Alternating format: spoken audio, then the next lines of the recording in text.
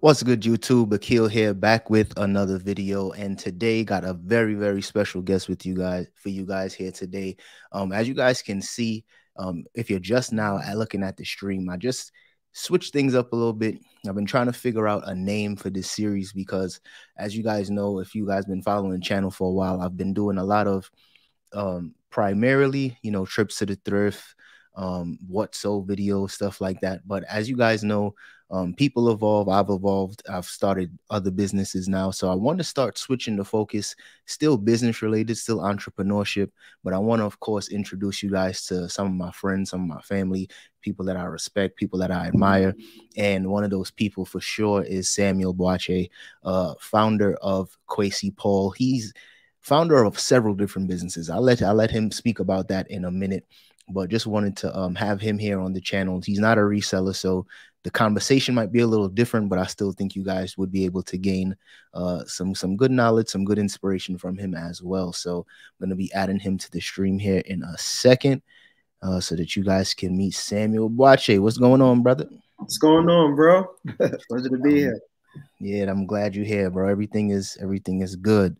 Um, man, I feel like we've been having some crazy conversations, some amazing conversations these past couple, uh, just these past couple weeks.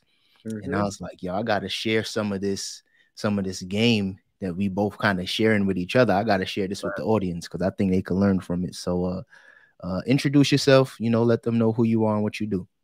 Yeah, man. Um, I'm Sam. First and foremost, as mentioned earlier, Sam Boakye, born in New York, parents from Ghana, West Africa. So that's where my roots are. I am the creative director of Kwesi Paul, also founder of Kwesi Paul. It's a menswear and women's wear label that's really blending African and Black culture all in one. What we're doing is exploring that friction. Um, according to Akil, I'm a founder of a few things as well too, but right now my main focus is Kwesi Paulin, and I think throughout the conversation you'll also start to see how everything else kind of flows. Yeah, yeah, that's what's up, man. I, am I'm, I'm loving what you're doing with the brand. You know, I've been following the brand from when you had the name changes yes. to the, the bomber jackets, the t-shirts. I just mm-hmm. I just love the progression of how things have been going for you. Um, I know I tell people all the time that that you got to make pivots when it comes to business, but share some of the pivots that you had to make throughout this time. Yeah, man where do we start? start from as far back as you want to We could start at Kwesi Paul we could start at Lief Chair. Like you, yeah, start start there. I think that'll kind of tie in nicely. Yeah. Okay. It, I'll try to I'll try to make it brief. So um I had a friend of mine who was interested in fashion and I had no interest coming into the whole fashion space at all. The only mm experience I knew was my mom. She was a designer graduate from FIT. So I, I seen it growing up. But um I decided to give him a helping hand from the creative side. And then after a few projects, like I just fell in love with the process. So we created a brand called Leaf Co-Chair. We did tons of college shows. You know, at the time that was what was popping. Then we were also able to get a few placements. So Lashante, Teyana Taylor, um, Iman Shump, um, a few people, you know, in in that whole celebrity space. So it started catching heat and then after a while, just wanted to kind of tell my own story, do my own thing. So pivot away from the F coach here. Um, in between that whole space, it was just really like freelance and stuff I was doing in the fashion space, trying to make you know learn a little bit more about the industry. Did a little bit of school, um, schooling and tailoring. Um, ended up working a nine to five for a B two B fashion business, and then was also taking wedding and graduation orders on the side for menswear suits. Mm. And then just I want to say about a little bit over a year, finally decided to come out with my own brand called Kwesi Paul. And um, where that comes from, Kwesi Paul is I'm pretty much the byproduct of Kwesi Paul. My my mm. mom and my dad infusing both names together, and also just a representation of exploring that friction between African culture and Black culture. I love it. I love it. I think some of the pieces that the some the imagery is always big for me. And the yeah. photography, the the the in the African inspired apartments, it's like you don't even if you from New York, you know. Right. Like, you know what I mean? And I think it's yeah. one of those things where people always say pictures speak a thousand, say a thousand words. Mm-hmm. And just some of the photos you see in the Nesquik in the corner, yep. you know, you see in the you, you see in the old school picture frames on the wall. It's like I love it. What what what like you said, it was inspired by you know African culture, but what kind of made you want to take that direction with the brand? It was a, it's a space I feel that's not told a lot. Mm. You know, um like in particular, like firstborn generations, um, kids to African immigrants. We don't really talk about those stories a lot. It's either we focus a lot on black culture or we focus a lot on African culture, but we never explore that barrier. So I wanted to really tap into that. That's what I that's what I, I grew up on. You know, I grew up on being in the black household watching, you know, WB11 in the morning, mm-hmm, hearing mm-hmm. my mom's and my dad's in my ear talking, you know, my language. And as soon as I step out the apartment, I'm in the back playing basketball at section two with my bros. And, you know, yeah, it's, yeah, it's just like lifestyle, yeah. I'm in two worlds at the same time constantly. And that was the fusion, you know, that that's that was my experience growing up. That's dope. I think that's one of the things that like people don't even think about like how unique coming from New York or having, you know, immigrant parents and like I take so much of those, you know, so much of those experiences, so much of that, so much of the game. Yeah. You know what I mean? And it just kind of like translate throughout everything that you do. And I will look at it. You know what I mean? The the name, the the the photography, the everything, the design, like it's it's all infused through it. So congrats to you, brother. Um, I'm loving it. I'm loving thank, it. Thank you. There's more to come. more to come. So I know you got some big things coming up in uh in February. Talk about that. I know you got uh might be a big announcement. I don't know if you shared it yet, but you know, talk about some of the some of the moves that you got going on. Yeah. Um. So I got selected to do Project, one of the biggest trade shows in the world. So we'll be exhibiting in the Las Vegas from February 14th to 16th. So that's exciting, you know, being in being having Kwesi Paul for a little bit over a year and just being given the opportunity to be in front of retailers like your Nordstrom's, Bloomingdale's of the world, Sen, Saks Fifth. Super exciting. So that's been my main focus for the past couple months. It's been mm-hmm. hectic, it's been stressful, but the process is amazing. You live and you learn from it. That's what's up. I've been the Project um I forgot how long ago it was. Maybe two years, three years ago, I went to Project, but I was more so like what you're doing is what I wish I had more direction at Project. Mm. I wish I had more of a game plan because I just went as a blogger. You know, this was before the, in, the term influencer was a thing. Yeah. Like that's what's so crazy. So it's like I went there literally just on the hunt to see which brands I could work with and who could send me some free clothes. like that was literally it. You know what I mean? But I think yeah. for you, going to this trade show now, you're gonna get that exposure that you, you know, that you need. That's it, the experiences alone is going to be huge. Of course. talk talk about that. Like, what are you looking forward to in, in the sense of the trade show space? Exactly what you said. Really, just the experience. But to be super transparent, I'm definitely looking for the the connections, the network, and having conversations with buyers. I mean, I have to take full advantage of it. You know, mm-hmm. like we are a D2C company um, but just being able to have a few relationships and partnerships with retailers, especially some that, you know, are my favorite is huge. Um, also like feedback.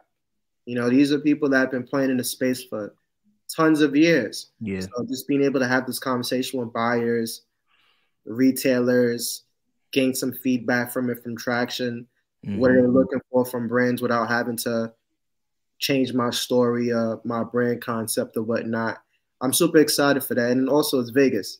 You know, I, I could use a, you know, three, nice four vacation, right? Yeah, yeah, yeah. You know, you I'm away from the slot machines though. Um, last time didn't go all that well, so right, right, right. We're gonna stay away from the gambling. Don't wanna spend mm-hmm. that coin or lose that coin. I should no, say. No, no, no.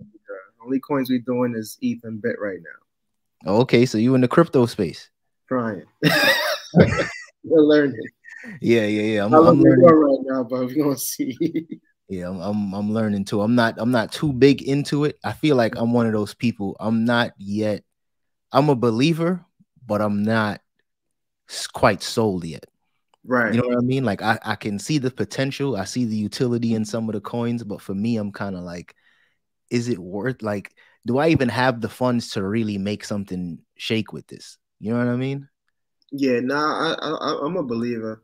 Um, I think about it like with taxis and Ubers, movie theaters and Netflix. Like I feel like just the same situation. You know what I'm saying? Just dollars in crypto. Mm. You know, like they say you got to get on early, so that's what I'm doing. But I do think it's important to educate yourself in this space. Absolutely. Um, even the brand we've been exploring that as well too. That's like down the lane, but the whole NFT crypto space, we want to see how we can infuse that and make it make sense at the same time. Mm. You know, because a lot of the the brand's ethos and stories like tradition, and when you have tradition and technology at the same time, they don't quite gel. Yeah. Right, trying to find that, you know, find that uh, connection. So my thing with the with the NFTs, um, I view it more as like an experience thing. You know what I mean? Yeah. Like it's of course it's digital art, so I think that's kind of where it fits for your business, where it's like you selling clothes. Clothes is art. Like at the end of the day, it coincides. But it's one of those things where it's also like you could start talking about this in a second as well for people that's in like the event space or just in the event management type of thing, event was it event planning space. Mm-hmm. You know, that's what people want. Like they want to create that community. So I think NFTs, that's what we're looking into as well. Well, not yet, later down the road for Flipped Narrative, for the wine business later down the road. But it's all about, you know, fostering our community, trying to bring people together. You know what I mean? So that's that's that's the power of the NFTs that I think um people probably aren't really thinking about too much. Yeah, there's there's tons of different types of NFTs. You know, like you also got like the POAPs, which is something that I've been exploring. Um, speaking of the event space, we'll probably touch base later down the lane, but like utilizing the you know the the POAPs for my events, um, starting to build that community, just people having people having something to remember. Um, and then with the NFT, you know, we also do have an idea about how we want to go forward with the community building because just as much as it's important to build a brand, we're trying to also build a community and just kind of navigate through that, build more awareness. So, I mean, we can go for days about NFTs. You know, yeah, I'm a rookie yeah. at the game, but like, it's good to educate yourself on like where the world is headed to. Absolutely. So I know I was you was kind of alluding to it, but said you found us you're a founder of several different businesses. Uh, Kwesi Paul is the close. Talk about like the event side of things that you're that you're gonna be. Well, you already launched it, so talk about the event side. Yeah. Um. So I've been managing a DJ named Black Pages. Um, one of the biggest DJs in LA, Afrobeats DJ, Ghanaian descent, just like myself. He's also a brother to me. Um, was actually recently featured on um Billboard as well mm-hmm. too. They did a write up on him, but I, still have my my uh, my ears to the music scene. Like prior to me getting in the fashion business, I play the right. keys with the saxophone group in the church. So the love for music is there. But um, I've been managing him, and then with Kwesi Paul, we spoke about maybe curating some type of experience as a collab. So mm. it would be Black Pages featuring Kwesi Paul, and we would be doing these experiential events called Paradise 57. Mm. So Paradise 57 is literally like Kwesi Paul's community. And what we're doing is just as much as I'm trying to showcase like the evolution of, you know, black and African culture intertwined the brand, I'm doing that through food culture and sound through mm. Paradise 57. So creating a community where people can really celebrate the evolution of the African diasporic sound, soul, culture, oh, that's all under one roof. So hopefully we can get flip the narrative, you know, in there, you know, as a shit. Hell yeah. Exactly. You know, just celebrate all of that under one roof. I think that's I think that's beautiful. I love that. I, I, and like we were talking about, you know, the different businesses and like, you know, we was kind of having a deep dive over the past couple of weeks in the sense of like yeah. stuff to do, but we could talk about some of that if you want to. I don't know if you want to be, you know, giving up too much game, but I like to just give all the value on the channel. When they come to me, when they come to like giving game, sharing any type of game that I got, any type of knowledge, I just like dropping it. But um, for me, it's one of those things where I love how it makes sense. Like yeah. it's two different worlds. It's two like event planning and fashion. It's two different things, but at the same time, it's culture. You know what I mean? And it still coincides. It still makes sense. And that's I think that's one of the things that anybody in business, there always comes a point where you're trying to, you kind of put yourself in a box. Yeah, like, yeah, yeah. This is what I do. This is all I like. Like for me, like I'm a reseller. This is a reselling channel. This is what I do. But the bigger thing is business. The bigger thing is entrepreneurship. Right. You know? The freedom and the options that come with that. So it's just like incorporating the Paradise 57 is like you blend in two worlds, but it's really not two. It's you just shining a bigger light on it, really. Yeah, I, I look at Paradise 57 as a physical world for Kwesi Paul. Because mm-hmm. um, even with Kwesi Paul, what we're trying to do is through telling our stories, the experience of being firstborn, having to live, live in the Western world and the West African world at once, we want to right. kind of create a bridge. You know what I'm saying? Eventually, we want to change the future. Like, I would love to be able to garnish as much as I can to create a better infrastructure in my mm-hmm. homeland and also use that to educate um, young black folks in the states that want to maybe get in tune with more of the creative art scene, the fashion, you know, the fashion industry. I don't think there's no such thing as holding back. You know what I'm saying? So like I, I kind of see it as like this is how we want to view the world as we can celebrate, we could drink, we could be married, we could listen to music, but we could also build for a better world. Mm. You know, like we could do all of that at once. So that's that's how I view it. Um, as far as like you know, just that's concerned as far as like gems or whatnot, kind of alluding to what I said before. Like, I don't want to be boxed. I don't want to feel like I only have to do one thing. Yeah. At the end of the day, it's a art collective. Mm. You know, like when you look at like the Harlem Renaissance, it wasn't just Langston Hughes, it was poets, musicians, artists, so and so, but it's all under that realm. Right. I view art the same way where yeah, I'm a fashion designer, but I could do music, you know, I could sketch. I might even get to ceramics. Right. But at That's the same right. time, it's all from the same soil. Mm. So, full yeah. on full on renaissance man. That's what it sounds like. you know what I mean? Blending. My man said I might even get into ceramics. never know. You never know. I love it because it's one of those things where it's like, just like you said, not limiting yourself, not putting, not putting yourself in a box. Yeah. You know what I mean? We we do that to ourselves, where at the same where at the end of the day, it's like nobody's just a monolith. Everybody is comprehensive. You know, you got different stuff going on. I'm a dad, I'm a husband, I'm a, you know what I mean? Right. son, you know what I mean? You got all those things. Yeah, but I think because we were programmed to think like that, especially for like um our folks, you know what I'm saying? Like we already got it hard as soon as we're born because we don't have the same opportunities, you know, that other right. folks have. You know what I'm saying? Right. So we're programmed to focus on one thing. And I'm a prime believer in that to a certain extent. Like you could focus on one thing that's cool, but I don't think God's gave us just one talent. Right. You know right. what I'm saying? I also think there's a there's a crowd for everything. You know, there mm-hmm. might be a crowd that really rocks with your clothes. There might be a crowd that don't really care about clothes, but they love the culture and want to party. And then there right. might be a crowd that want to be homebodies and just make ceramics all day. right, right. I mean, like you're producing all three. So like, why stop yourself? And you said it yourself. If I could be a dad, a husband, um, a nine to five person, an entrepreneur, I don't see why I can't implement that within what I'm doing as an artist.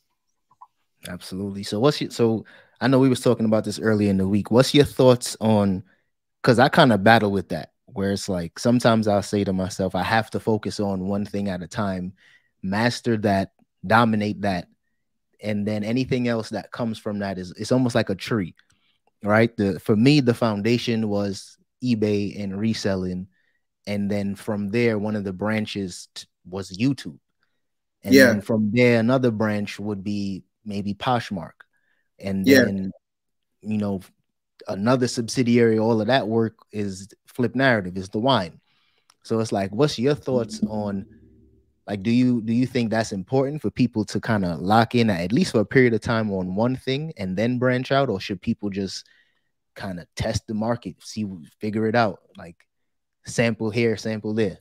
I'm the wrong person to ask just because I'm the type that is all over the place all the time, you know. But I will say this: just you know, being here on this on this planet Earth, talking to successful people. Some will tell you focus on one thing, but there's others that will tell you otherwise. You know, like mm-hmm. I think it really just depends on you as a person.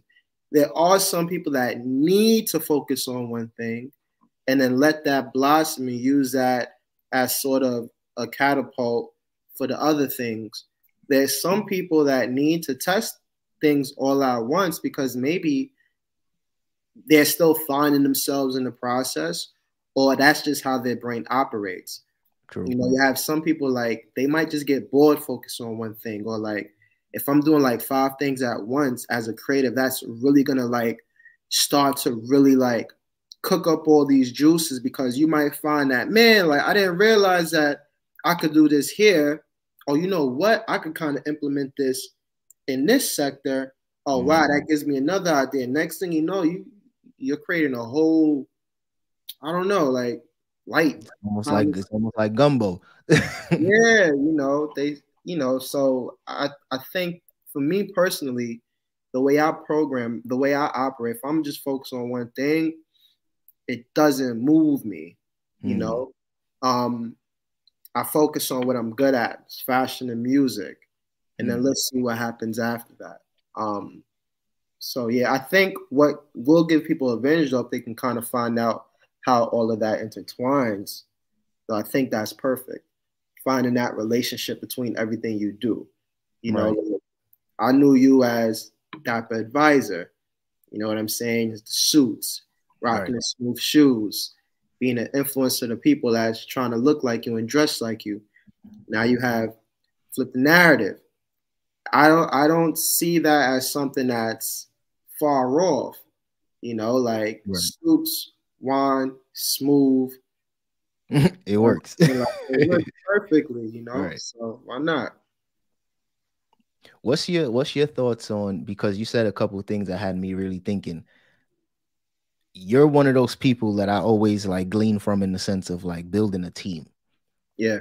And I think when somebody like you that's a creative and you might have, you know, you kind of juggling five different ideas or five different businesses or concepts I think one thing that helps you is that you build you, you like you find community. You find people that's like they might be a little more knowledgeable on something than you are, and you kind of like bring them in quickly.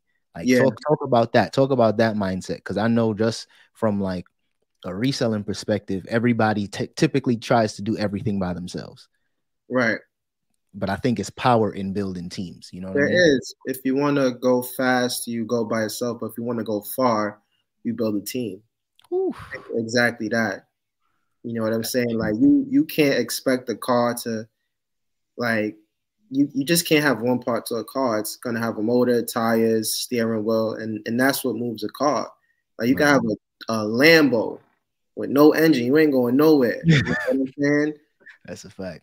So like I think team building is important, especially when you want to get to the next stage. Like obviously you, you, you might want to just try things by yourself in the very beginning. That's what I was doing. I didn't need nobody to be in a room with me when I was tailoring suits. But once I knew that I wanted to reach out to a mass and I wanted to get my stuff out there, man, I should probably look into a social media person. Or mm. I should probably look into somebody to handle my finances, my accountant. Or you mm. know what? I can only do five suits in one day I'm getting an order of 100, I need to go look for a manufacturer. Or like, I only have two parts of a brain. I should probably bring on another designer on with me so we could really, really exchange thoughts. I think for me too, I like working in groups. I'm a team player. Mm. And like when you have a collective of people, you know, that share the same vision, you can make magic. Absolutely. So I'm all for teams. Like I don't know one person in the industry that's been able to do everything by themselves from start to finish. They might be the the face, but if you look at the directory, they have a director of this, they have a director of that, the CFO, um, you know, like chief of operations. Like, I yeah. think it's just damn nearly nearly impossible. That that's just hearing you say that because I'm still stuck on the if you want to go far, you build a team. Yeah, bringing it back to like the reselling thing because I know that's the that's the community, that's the people that's listening right now. Most people that get into business, they literally want to do everything by themselves. So for this business in particular, you shipping all your orders, you taking all your pictures, you doing you you doing all your accounting, you're taking all the photographs, you're running around doing all the sourcing. That's literally five different jobs. That sounds like five, Jesus. Sound like what? That sound like Jesus. you know what I mean? Like it's it's one of those it's one of those career paths, and it's one of those uh I guess you call it an industry, one of those industries where it's like you literally condition yourself to do so many things by yourself. But then you see other people that are su super successful. If one of the first things they do is they'll hire either some contractors or some part-time help. They'll, you know, start working with some manufacturers or some wholesalers so they can get stuff coming to them. And I think that's the stage where I'm at now. That's why once you said that, it resonates with me so much. I'm like, damn, I need to really start thinking bigger, start bringing in a team. Right. Um, I look at things also like exponential, like energy exponential, right? Like I'm a creative director. Like that's my title. Whatever I do, whether it's ceramics, music, fashion, I'm a creative director. I like to direct. I'm a creative. I need to be able to have the energy to think outside the box. Mm-hmm. I could shoot though. I, I picked up a camera before. I did street photography before. I've, I've done photography for businesses. Um, I could do a lot of things. I could do social media. I've done freelancing for, you know, brands, had conversations. Yeah. Um, but the thing is, like, going back to when you said focus, right? I think somewhere down the line, you got to figure out, like, okay, I could probably do a lot of things, but like, what am I really good at across all verticals, which is creative directing. Um, so for me personally, like I can do my own social media, my own photography and whatnot, but like I need that energy to focus on the creative direction aspect. That's one part to it. The other part to it is the simple fact that there's always going to be somebody better than you. And I want the best of the best, you know? So, like, okay, you're a photographer, you know how to shoot, but like, there's certain things that somebody does with a camera right? That you might not know of. Yeah. Social media, you know what you like, you know what content you want to take, but there's certain algorithms and data insights that you have to constantly look at or study to make sure that your post is getting this amount of reach. Mm-hmm. You might be able to count your books, but like you tell me you're gonna create, do photography, and look at your books all day? Hell no. And, and if you do it, it ain't gonna be good. right. You know, you're gonna have to keep amending your taxes and all of that. So like I, that that's that's a twofold to it. You know, like part of building a team is also not being afraid to work with people that's better than you because you're gonna get the best of the best regardless. It's not about the ego aspect of what you do as a business person. It's about the greater good. I want the best business. I want people to know that this is the best work that I'm putting out. Therefore, I'm creating a team of the best people. Mm. That's how I look at it.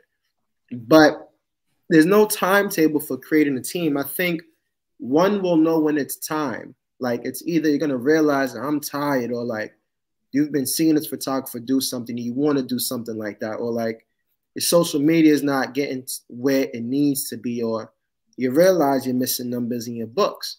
Yeah. It's gonna be a time where you really think about it, like you know what, I think it's time. And then also like when the money start coming in, obviously you either have a conversation about equity or you have a conversation about hiring people. Mm. So you just know. How do you go about like finding people to to bring on on board? Because I've been in the game five years now. I've had my wife help, and then she's made pivots and started, you know, taking more of a lead in terms of the wine. Like she's really running that but it's one of the things where it's like I'm trying to think from like somebody else's perspective that's that's watching this right now and they're like I'm um I'm a busy parent.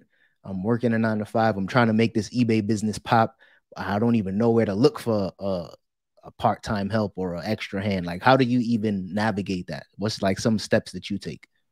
I don't know if anybody has this advantage, but like, I think for one, when you're a startup, I think tapping into your circle is first and foremost very important because within your circle, you're gonna have people that's gonna tell you constantly, like, "Yo, I really like what you're doing," you know, like, "Can I help?"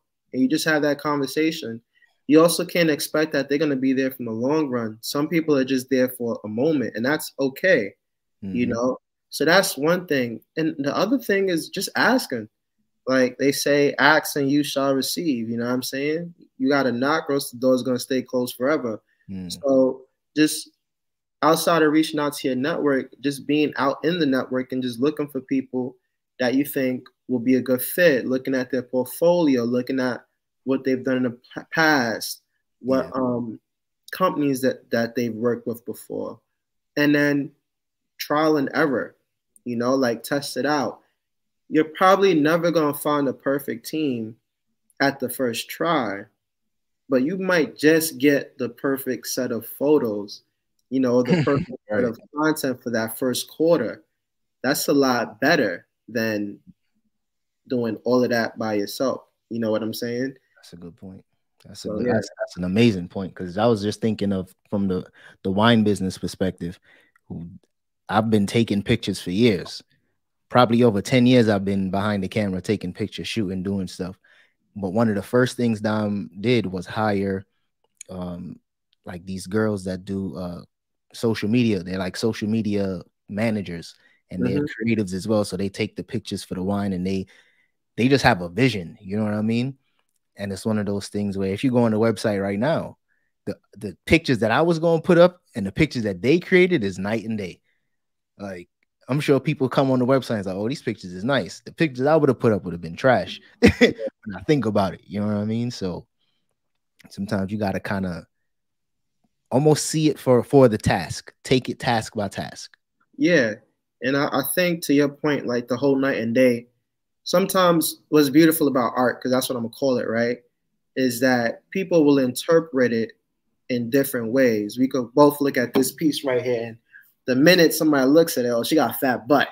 You know what I'm saying? I put the camera up, is actually somebody playing the keys for Shorty. Mm. You know, like how do you interpret that? What time of day did it happen? When did it happen? Mm. Who is she to him? You know, but we, we can all see that he's clearly playing the keys for Shorty. Right. I think the other benefit about like a team is like you'll have somebody that will interpret your vision so differently, right? Hmm. But it still meets the standards and it becomes such like a beautiful project in a sense because it was like, man, I ain't see it that way. Like I didn't realize you could take this photo from this angle. It captures it in a whole different aesthetic. I didn't see it that way. Yeah. But they still took a picture of your wine bottle. Right. So it still meets the standards for far what you're looking for. And then once they interpret it and it comes mm-hmm. back to you, that also sparks your ideas. And like based off of what they did, I could do it like this. And then it's a constant conversation. And the next thing you know, you either have a pool of ideas, you have a whole vision that's greater than what you thought of before. Mm. So that's how I view it. You know, like think of it as like an evolution as well too. Like things are constant changing, but it, it's still a, a masterwork of art. Mm. You know what I'm saying, as long as it's delivering the same message, there's nothing wrong with that.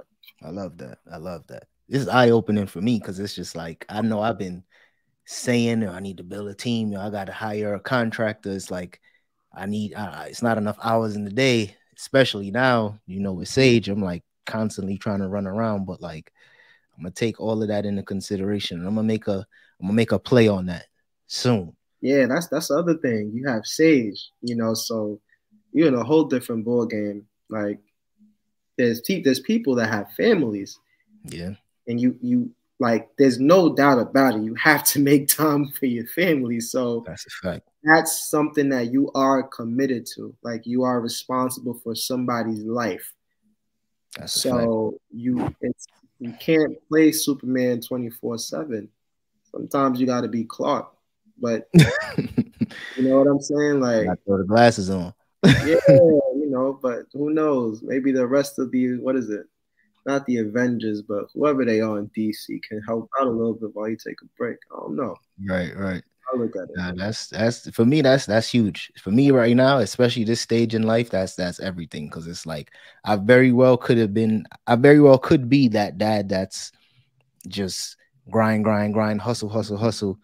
She's like even in my mind, like I, I tell people all the time, and I was telling you, I took that part time, I took that full time job because I was like, oh, I'm gonna do both.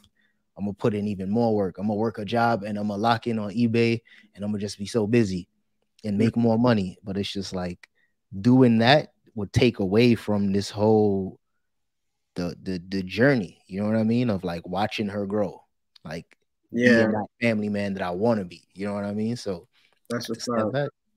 Yeah, I can't I can't comment too much on that because I'm not there yet. But I would I would think that it's almost like taking anything else that just means more attention in a sense, right? So you have to kind of go back to the drawing board and you have to figure out, well, this needs this much time. Right. So how can I give this part of my life as much attention without maybe giving it all my time? Right. If that makes sense. Some it's it's almost like a switch, right? So yeah. for me, what it was in the beginning, it was like it's it, me it's just me and Dom. It's no grandparents, it's no like nannies and stuff like that. So it's like it's just me and her. Mm-hmm. And of mm-hmm. course, in my mind, I'm like, oh yeah, once we have the baby, Dom will just be taking care of that, and I'm gonna just still be working. And it's just like, nah, like raising a child from day one is all hands on deck. When they when yeah. people say it takes a tribe, takes a village, like that's a fact. So it was more so me taking that step back and then pouring mm. that energy into her, both Dom and and into Sage, and building that foundation. You know what I mean? The same foundation I built with with this business. How I'm mm. able to work sometimes three or four hours a day and get 12 hours worth of work done. Yeah. I had to set that foundation and like really put that time in. And like I say all the time, she's only gonna be this small, but for so long. Right. And then things will change. She'll be in school. You have to go to parent teacher conferences. Like, you have to read her books at night. You know what I'm saying? Make sure, mm-hmm. like, a whole bunch of other stuff. The reason why I said, like, well, one, I can't speak on it because I don't have kids, but right. even where I'm at in life right now, I still need to build that foundation for myself. I, I'm thinking that there'll be a time where I'm like, okay, I can invite a family now to my life. Right. Right now, where I'm at, there's still so much building I feel like I need to do right now um, before that becomes that. Because I know that's, that's, a whole nother, whole nother ball game. Yeah, that's real. And I and I love that. I love the fact that you know that. Like you're aware enough to know, like, yo, this is not the time. No. Like some people we get so caught up in like they'll see a nice family photo on Instagram and they'll be like, oh yeah, this is what I want, goals. And it's just like, nah, like sometimes, especially for men, I feel like we have to build, like mm-hmm. we have to lay the foundation. We have to put in the work before, yeah. especially as, as young black men. So many of us never had a father. So it's like we got to do the internal work before we even say, all right, I'm about to have, start having a family and all that. Like, you know what I mean? Yeah, exactly. It's it's a hustle, you know what I'm saying? So like that's a part of it too damn, even just thinking about that, it's like like families like indoctrined to it. It's always been a hustle. Now it's just right. about time management. That's a fact. Yeah, got a question in here. Let me see. My boy Derek, who's better at basketball, Akil or Samuel? right now, you better than me for sure. He said, "Right for now." for sure, for sure. You give me a you give me a few months. Let me get back in the gym. The thing is, my cardio is good because I still run. I still am, I'm jumping rope, but my shot will not fall. I don't remember your shot ever falling.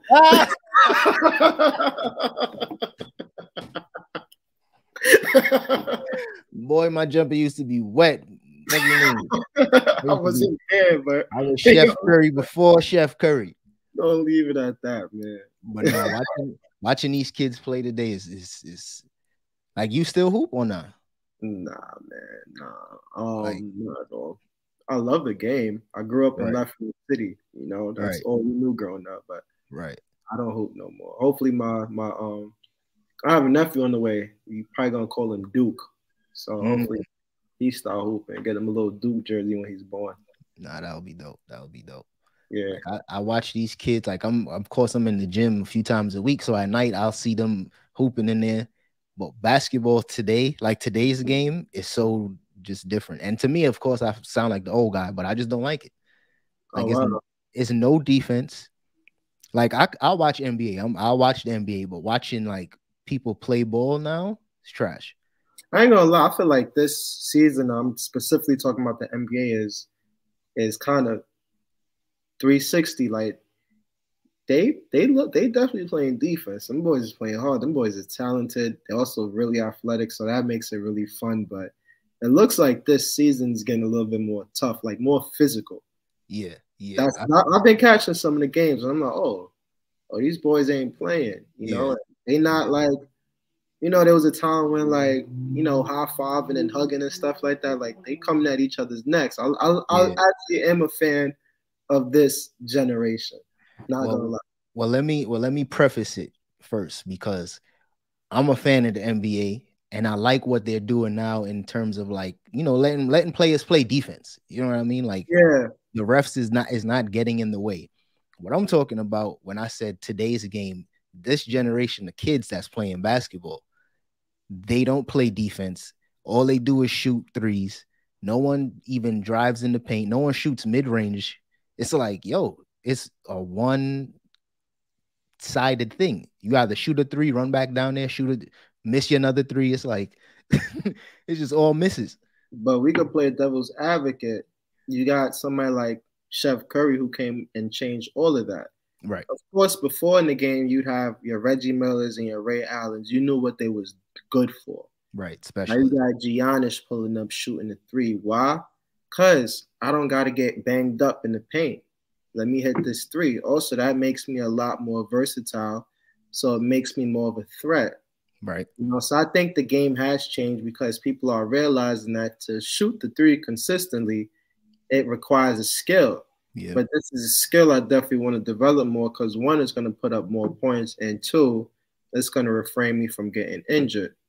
So I, I, I see where you're saying. I think you got players that have really taking it to the next level, almost like kind of taking advantage of the game. But yeah, back to evolution, you know, things change and like, yo, if it's easier for me to put up 10 threes and make six out of them and not get hurt and miss a whole season, why not? You see, that's where that's where the piece for me where I'm like, that's where I gotta push back. Because if you got somebody like Steph Curry, you got somebody like uh what's the name? You got Klay, you know, mm-hmm. early on in Draymond career, he could shoot the three. He ain't really shooting it like that no more. But if you got shooters on your squad, by all means, shoot. You got these kids just like these some of these NBA players. They don't they don't got the skill, but because they out of that 10, Steph and them is making about seven, eight. Some of these people, they out of that 10, they making one. well, them, them kids ain't gonna get drafted them. You know what I'm saying? I, I, I, mean, let's be real. I feel like coaches and scouts are still looking. They still know what they're looking for. You're gonna know yeah. that okay, that kid gonna put up 20, chuck 23s. We're gonna make 13. That's who I need. Eventually, the kid that's still yeah. wilding, you know, will realize it. But if you're in the league right now and you just chucking ish up, like you getting your ass sub to traded. Yeah, you know, so, that's, that's literally what's happening yeah, still respect to the game, but I understand what you mean. Things have changed, but I, I do like these young cats a lot. I, I think I'm I'm excited for the um the future of the NBA. I just hope like I, I'm worried about the whole social media stuff and like evolution and technology and stuff like that. You know what I'm saying? Like I hope that doesn't cause too much of an effect on the league. What you what you mean about like social media stuff? Like we don't really be we don't really need to be in all these like NBA players' businesses. I don't need to know who Ben Simmons just married or like yeah. I don't need to know like about this NBA's personal life or like stuff like that. I actually do feel like it also really kind of like gets on the NBA players' mental. It's mm. something that we don't see, you know, and just Generation Z, like people be like, oh, they so soft or whatnot. No, I just think that they're a lot more bold when it comes to like speaking out. You know what I'm saying? Mental health mm. was always an issue. We we just grew up in a generation where like it wasn't okay to speak, you right, know. Right. Um so yeah, just the social media stuff, I think, you know, I love social media, don't get me wrong, but like there still needs to be a balance. And then like, you know, just technology, like I guess I'm thinking a little bit overboard. Like I don't want them to create no shoes that's going to make you jump nine, ten feet off the ground. Like just buying those. Yeah. keep it, keep it funky, keep it, keep it natural. You know what I'm saying? But if there's any technology to definitely, you know, refrain from them getting these industries, I'm all for it because I can't go another season missing KD not being able to play or like yeah. Klay missing like two seasons. Like that is just sucks. Yeah, yeah, I, and this it's just it's kind of like I don't know if the what type of training they got them doing now because back in the day they ain't really get hurt as much as they get hurt now. So you think so? The, the athletes and that, but I don't even know if it's the re- yeah, I don't think I don't think they used to get us hurt that much. I think a lot of it got to do with probably the AAU circuit. Like when they yeah, come, by the time they come into the league, they done played thousands of games. Very true. You know what I mean? Very so it's just a lot more wear and tear on the body. But I think it's the AAU circuit. I think it's the the diet as well too. I think, um, yeah, AAU circuit diet. Um, I also feel like there probably was a lot of injuries back in the day. In, in I'm sorry, injuries back in the day, but like we didn't have social media, or like we was yeah. too young to really like keep up to date. Like think about somebody got an ACL injury, injury like 30 years ago, which I knew was a thing. It's over. It's done. It's done. Done. you get an ACL injury, you can come back and, and play ball. But right. like we didn't hear about that growing up. Yeah, yeah.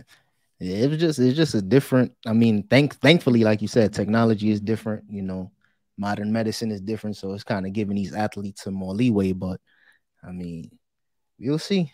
We'll see. The, you'll see the overall effects of social media and all of that. We still kind of learning. You know what I mean? We, we, we still going through it. You guys to. You can't ignore it. It's a part of life.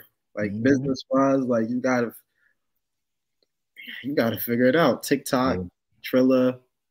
Uh, man, like. Wait, so you on all those? You on you on TikTok and uh Snap? I'm not on TikTok, but my brand is on TikTok. Um, and I've been looking into Snapchat too for any of the resellers or anybody in the fashion that's listening. So Snapchat got this like VR thing going on. So like people supposedly can like try out your clothes on Snapchat and see how it looks. Oh on, wow. Yeah, so Snapchat's been doing some amazing things on the low, so I want to look into Snapchat. And as for TikTok, TikTok I think was the most used app or something like that last year that had more users. Something yeah, about having I did read that. I saw yeah. that on the Business Insider for sure. Right. So anything that leads to you know more revenue streams, more merch, love it, and it's content. You know, as a fashion person, content is king. I think for me. Um, so yeah, but I'm not. I'm not on those. I, I don't even have Twitter no more. My brand has a Twitter. Only thing I own personally right now is Instagram and Facebook. Well, share share your uh your Instagram so people can connect with you if they if they want to reach out. Gotcha. I could type it here, or I just yeah uh, yeah. Tell them you know. Uh, yeah. So I mean, Instagram is Kwasi Paul underscore official. So that's K W A S I P as in Paul, A U L underscore official. If you guys want to follow me on my personal IG, it's I am Sam Boakye. Boakye is spelled not how it looks. It's B as a boy, O as an Oscar, A as an apple, K as in kite, Y as in yellow, and E as in egg. I mm. am Sam Boakye. My man gave the phonetics. All right. you get me messed up at work and stuff. I already know. But yo, thank you for your time, brother. This was dope. We done covered everything from business, creativity, done basketball talk, everything. So right. Definitely, definitely appreciate your time. Um, Speaking about basketball, too. We got something yeah. cooking, and uh, and uh, I'm glad you touched on that because we got something cooking in December. So if we do run it back, again, I love to run this back and give you more details once we get that locked in. But it's basketball and fashion. It's gonna be interesting. Absolutely, I'm gonna definitely have you back because I think for me this year I'm just taking I'm taking business and I'm taking my usual approach different. And this is yeah. something I'm, I'm, I'm, i gotta say on the on the pod, so hopefully some people can gain some inspo from this. I, I used to do things very like just bullish, like oh we about to do this. I'm all I'm all hands on deck and I'm just grinding. Like that would just be me. Mm-hmm. I'm trying to not like grind as much in the sense like I'm still trying to have that tenacity and be, you know, tenacious in my in my moves, in my business moves, but at the same time, I'm trying to really hone in on people. Right. Like, get have more conversations with people. It sparks ideas. It, it sparks community. You know what I mean? It's, it's it's literally that synergy, that sharing of of, of game. And exactly. I think as many podcasts that's out there, and there's so much of them now, it's, it's almost like annoying. But yeah. it's not a lot of channels where people get to see, you know, two black men having some some real conversations about several different stuff. Exactly. You know what I mean? So it's like I'm gonna put my do my part however I can, you know what I mean, and keep sharing my platform. You know what I mean? Oh, smooth, smooth, smooth. Well, I'm I'm all I'm all tuned in. So I appreciate you for having me. Yeah, no doubt, bro. This was dope. So uh shout out to everybody that was in the live chat. Um, definitely appreciate the support, and we're gonna see you guys in the next one. Peace. Uh, peace.